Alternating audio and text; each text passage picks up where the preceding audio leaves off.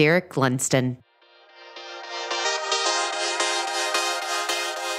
Hey, it's Nikki Llewellyn, and you're on Gut Plus Science. This podcast is on a mission to increase engagement at work. And on this show, we equip CEOs and people first leaders of all levels to make impact. Let's get to it. Hey, Gut Plus Science listeners, I have Derek Lundsten with me today to talk about building deeper level connection with those we interact with. I love topics like this and learning from people who share a strong interest in human connection. Derek is the CEO of Life Guides, a platform that builds employees to be their best through powerful human interactions. Derek believes the core of depth in relationship building is curiosity, and I love diving into this. It's powerful stuff and things we all can do right away. Let's go. Derek, welcome to Gut Plus Science. I am looking forward to talking through the ways we can connect human to human and build authentic connection more often. You know, connection has had more of a spotlight now than ever before, I think, and I love that. Obviously, COVID propelled the need for this topic, but what are other things that you think has made this a priority? Thanks, Nikki. It's great to be with you. I think what you described with COVID and the pandemic broadly is a key driver of this topic, but more specifically, the unique experiences that are underlying that. So, for example, the fact that we've moved out of the office into remote work as a consistent basis, that's one. The fact that we're constantly reminded of different points of view and the tribalism right now in media, that's, I think, another key element. I think the fact that people are sitting in physical isolation in many regards because of what's happened over the last few years is a big part, and just our core gathering places of where people would get together and build community churches, even restaurants, sports, all those different ways have been deprioritized over the last few years. And so that compound effect of removing an environment or changing the environment for people to connect is a huge factor. And then just the realization of how people's lives are different and the lack of day to day support and real human interaction, personalized experiences, is I think a key element of it. And so it requires us to be very intentional, aware, open and willing to try new approaches to connect and also find ways to rebuild as we kind of reemerge here what has worked in the past, but do it differently and do it better. So those are a few thoughts that come to mind. Yeah, that's great. And I just jotted down a few notes that I want to dive into that you helped me just spur that I'm constantly hearing challenges that I think we'll address today. So, Derek, we're about to break down how to get a deeper level of connection, especially leading that. Tell us why this is such an important topic for you.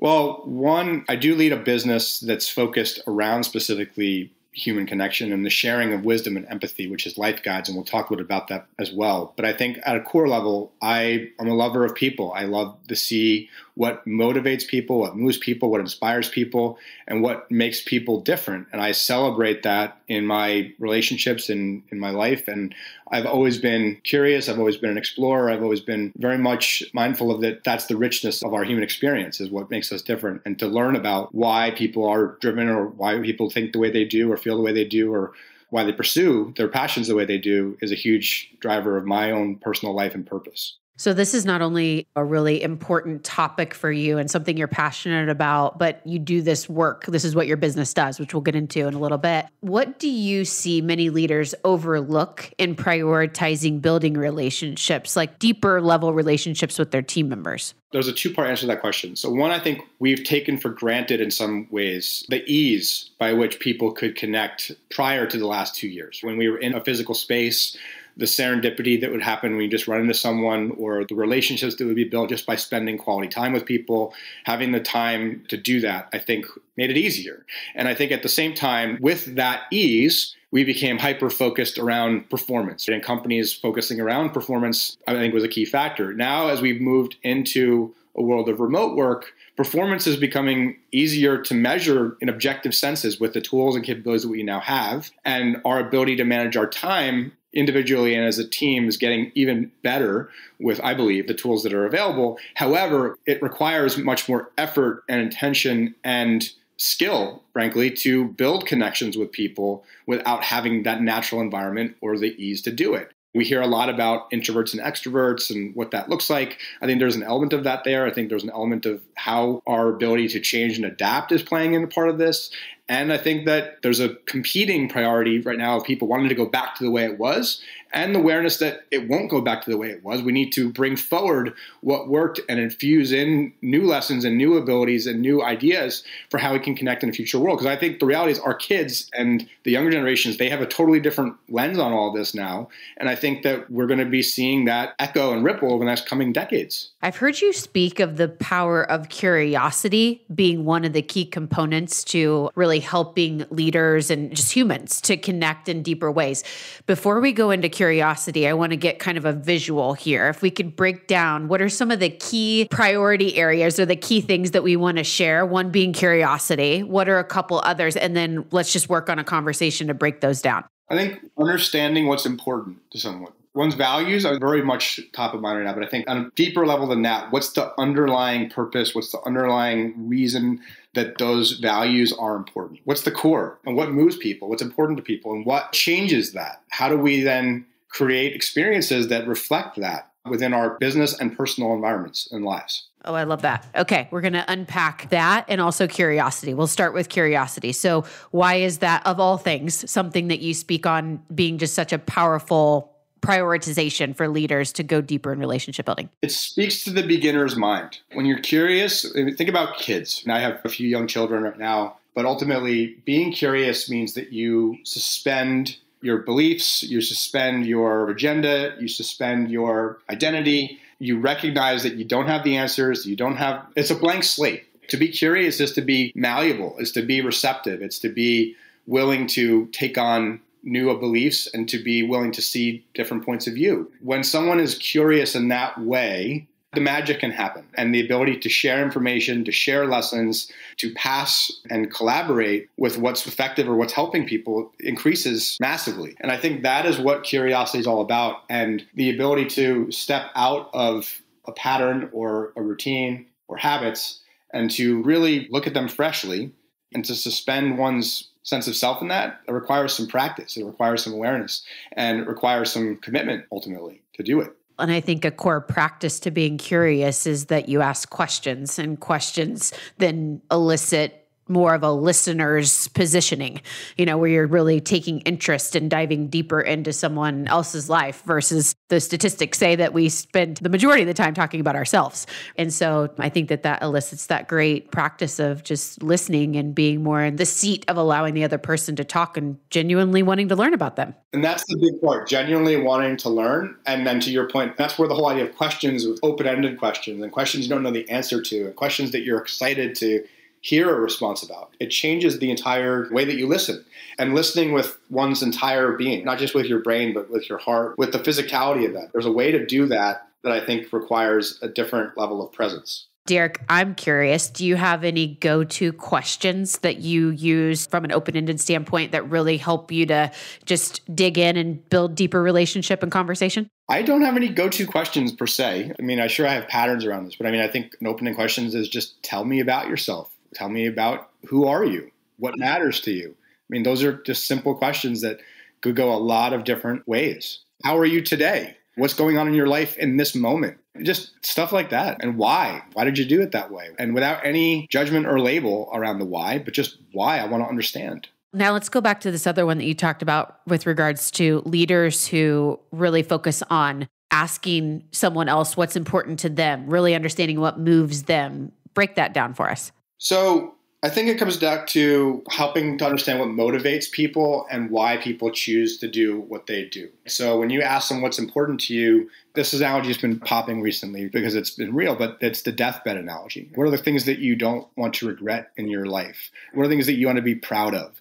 What are the things that you want to experience? What are the mistakes you'd like to avoid? When you think of it in that lens, if you were to put yourself in that point of view and reflect back on whatever time frame you want to live on, how does that inform your choices? What pops in that? Is it your career? Is it your family? Is it your spouse, your children? Is it adventure? Is it learning? Is it teaching? Depending on those questions, people are going to potentially have different life paths or different sequences that they want to do things and how they want to do it. I think that when you get to that, you find both the diversity of those elements as well as the common themes. That goes back to shared value, shared commitment. It allows leaders to both connect on a personal level and also create that compelling vision that brings people together and to help people build and work together more effectively. And I think that's a big part of it. As someone that works alongside human connection as an expert, I'm curious what mindset coaching you could give our listeners on investing in human connection? Like, are there typical things that come up that you have to help change the mindset so that the things that you do would even stick for the leaders? I'm glad you used that exact word to call me an expert because I think that's a perfect example of a mindset shift. I don't see myself as an expert, I see myself as a learner. I see myself as skilled in certain areas. I see myself as practicing. I see myself having different points of view and perspectives and community that have shaped that that I can communicate to people.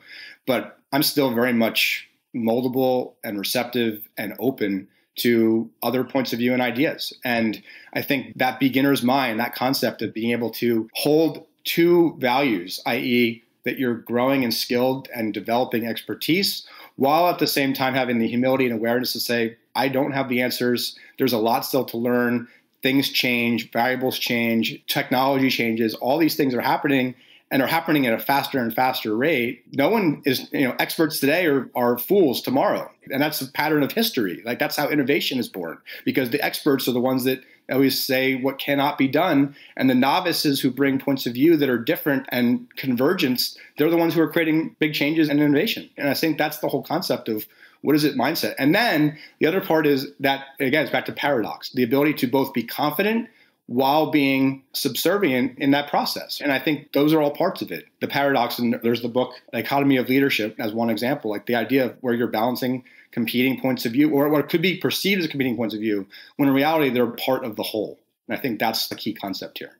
Earlier, you mentioned remote work dynamics propelling the priority of relationship building. And so I jotted that down because I wanted to come back to it. So many in our world of the people first leaders that have different topics that they're submitting. I want to learn on this. I need help with this. This is a hot one remote work dynamics of connecting with your team, how to build the relationship during onboarding when you've never sat next to each other and shook hands. What have you learned? Some best practices, aside from some of the things we've talked about, or reemphasize some of those to help leaders who are struggling with building connection in a remote work environment? One, it requires the leaders to acknowledge that the game and the playing field has changed. They need to adapt their style to connect in a remote work environment. They need to spend and allocate time for specifically relationship building conversations and performance or business outcome related conversations and or separating them with delineation in a conversation. There's a time and a place and to not necessarily rush it. I, I speak for myself. Like I'm very much a time blocker. And the risk of that is that you're not allowing space for the human connection to happen. It requires a pause. It requires people to take a step back. I think that developing new processes and developing new systems for connecting are going to happen to create some of that. I think that now, as people are going back out and traveling a bit, and places of old where people would gather are reemerging, and that's happening. Before pandemic, getting someone to meet for a coffee in the midst of their busy day was really, really challenging. Now it's challenging to get people to meet just generally in person for whatever reason. People are driven by different ways. But when you do meet, at least in my experience, in person meetings run double or triple what they used to be. It's just natural. I can't tell you how many times a 30 minute coffee has become an hour and a half long coffee over the last few months for me because you just start talking. And when that happens, people just start sharing what's going on in their lives. And people are starving for that connection right now because we've been literally blocked from it over the last couple of years. And so it's the same thing when you see restaurants now, because the restaurant industry was hit so hard, there's massive lines, massive waits to do all these different things. And so I just think we're at a really interesting point because we need to create new structures and new places, new environments, and new social mores for how this works. And I think that people are at different places on that continuum. That's the key part. Everyone's in a different place on this. And you need to kind of check in and see where is the person you're meeting with on this continuum. So those are a couple thoughts I have. So, Derek, before we go into talking about life guides a little bit more, I'd just love if you have a couple things you'd want to share, like go to techniques or tactics that you'd like to share with our listener audience that are leaders looking for, I want to try this. I need to think differently, or I want to try this in my next one on one, or this would be a good group activity. Anything come to mind as like go to techniques that you want to share? Right now, we schedule time again where we have business meetings, we have social meetings in our company. That's one thing that we do. When we have space to, and the other thing I'd say is leave space to actually have conversations that may not be considered typical for the workplace. Talk about what's happening in the world. Be willing to have environments, a safe space to talk about what's happening politically. It's talking about people's spiritual development. It sounds kind of crazy, but people really are enjoying that. And I find that when you give people the latitude to do it, they're doing it anyway. And so that's something that I think is changing is that the lines between what's acceptable and not acceptable is changing. And if you allow and give feedback on how to do that, it can be a beautiful moment. And I think that we really need that right now with what's happening and what's happening in the world of last years. The ability to put yourself in someone else's shoes and to suspend your perspective for a moment allows insight and growth to happen. So good. And exactly why we caught on to your core being curiosity, curiosity, empathy.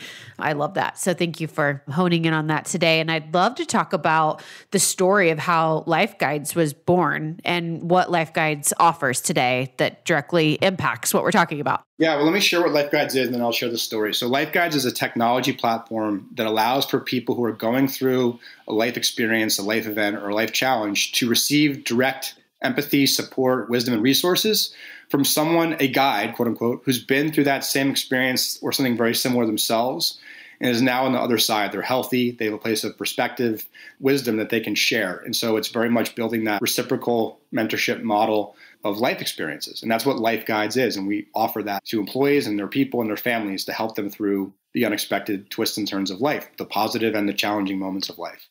The way that Life Guides came about, so about seven years ago, I met Mark Donahue, who's my business partner and founder in Life Guides, as well as Will Bunker, who was one of the founders of Match.com, and a number of other entrepreneurs and interesting people at this group called Abundance 360, which is part of now Singularity University. And Mark and Will had this shared experience that they had both had parents who suffered with dementia and Alzheimer's. And overnight, they were confronted with the reality how do you manage the care for this family member, this loved one? How do you work through the healthcare system? What's the shift on someone's identity and the time commitments that require to be a caregiver? And a whole slew of other related topics. And Mark and Will had this realization that, hey, if we're fairly well resourced and we're struggling with this, imagine what people who don't have the resources that we do are dealing with in navigating these particular challenges around dementia. And so I heard this idea and I saw the business plan that Mark subsequently wrote, and I thought it was brilliant and really well timed because of the fact that it wasn't just about Alzheimer's, though that was a topic that was very real and what's happening in the aging population.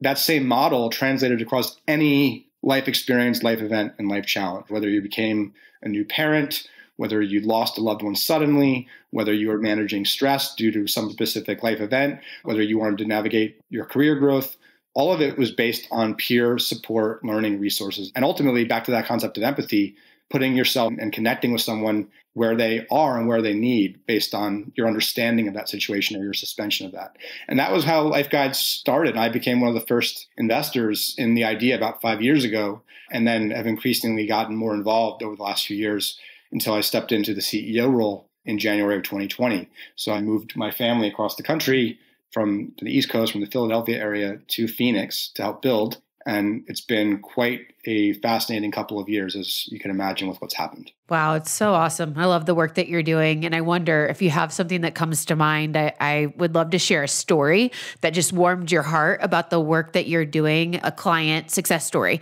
that shared this is because of Life Guides. This is how things have been changed, or this is the impact that it's had inside of our organization. I'm sure you've had hundreds, but if you could pick one to share with us, I'd love to hear it. We've had so many, but I'll share one because this has happened fairly recently. And we don't look at it this way, but this is how it was kind of characterized. As one of our members, quote unquote, graduated from their guide. Over a course of about a year, they had weekly sessions with their guide. And this particular member is going through a divorce. Again, for purpose, I don't know who this person is. I don't know their story. That's all confidential. But what I do know is that they had shared with their guide that over the course of this year, through their weekly sessions of talking through all the different elements in their life as a result of this life change, they were able to go on with their life and start to explore new possibilities and how they wanted to create their future.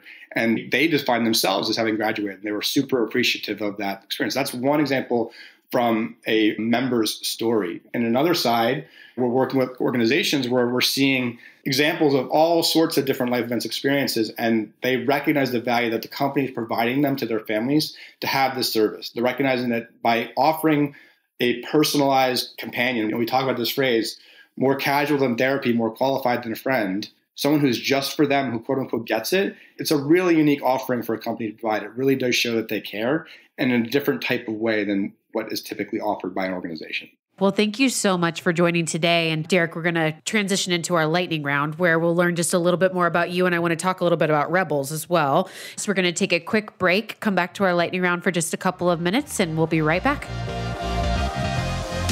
If you're leading with a people first mindset, which most likely you are because you're listening to Gut Plus Science, join People Forward Network, the largest community of humans on a shared mission to lead meaningful work. You can find us at peopleforwardnetwork.com or follow People Forward Network on LinkedIn. We're back on Gut Plus Science with Derek Lundsten and into our lightning round where we'll get to learn a couple of key things about him and the personal side of Derek and then also spotlight Rebels with the Heart for those of you that don't know of it. So, Derek, if you had to pick a favorite book of all time or favorite recent read, what would you share? So, the book that I've recently read that I really enjoyed was this book called Right Away and All at Once that talks about this personal and professional values exercise. I really enjoyed that. A book that I recommend all the time in terms of that it's been a key driver is the book Abundance, which is about the role that technological innovation plays and can play in creating a healthier, more productive, flourishing humanity.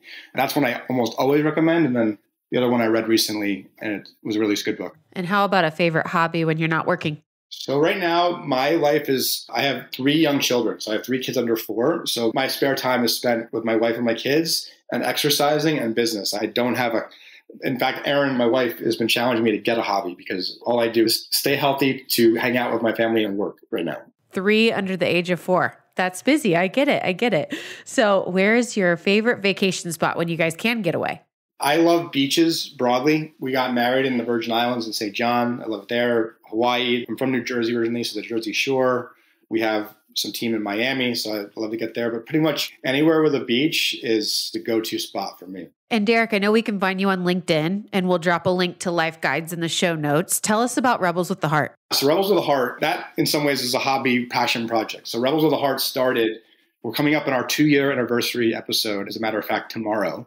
So we'd started Rebels with a Heart, quote unquote, the new rules of leadership, with the intention before the pandemic started to highlight leaders and organizations that were playing by their own rules, that were infusing passion, purpose, and human centered leadership at the core of what they do and willing to go against the grain to show the role that conscious leadership could play in the workplace. And we launched it literally, and the same week that we launched it was when the lockdown started. And that took on a whole new role and a whole new definition of what the Rebels with the Heart show became because it became a live recorded segment where we'd bring on C suite leaders talking about their role in life, in business, in their mindset, in their values, and how that was showing up in the context of constant uncertainty and change. And we've had some amazing conversations and interviews over the last couple of years.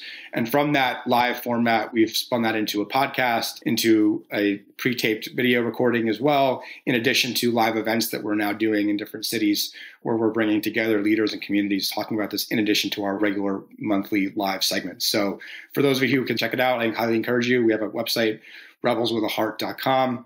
And it's just a way for us to connect with other like minded people in the world of business who want to leverage business as a platform for change and for good. Well, congratulations on two years and keep it up. I think you're just getting started because it has got some momentum. So, I'm really excited. We can link that out in the show notes as well. All right, guys. Well, we'll see you next time. Derek, thank you. Here's my truth you can act on from our wonderful conversation today. Number one, in building deep, authentic relationships with any other human, make sure you know what is most important to that person and stay rooted or anchored in that always. For example, in friendships, knowing that your friend needs quality time, prioritize scheduling time to be together. And in a business meeting, understanding what the other person's goals are and revisit those in conversations and take steps to help them advance that goal. Always be being true to that person and what is important to them, making sure that you know that. Number two, being curious involves a lot of question asking. Think about a few open ended questions that allow you to get to know the other person, and that question allows them to really open up. And you just listen. And number three, place the intention of suspending your beliefs and seeking to see another's point of view at the forefront and practice it another powerful component of being curious is suspending our beliefs and seeing someone else's viewpoint. It expands us and it grows us.